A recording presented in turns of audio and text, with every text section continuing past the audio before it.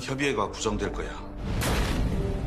경찰은 무능하고 부패해서 수사권 가져갈 자격 없다. 검찰이 이거 각인시키려고 짱돌 던지는 건데 2017년에 동두천에서 경찰 하나가 자살을 했습니다.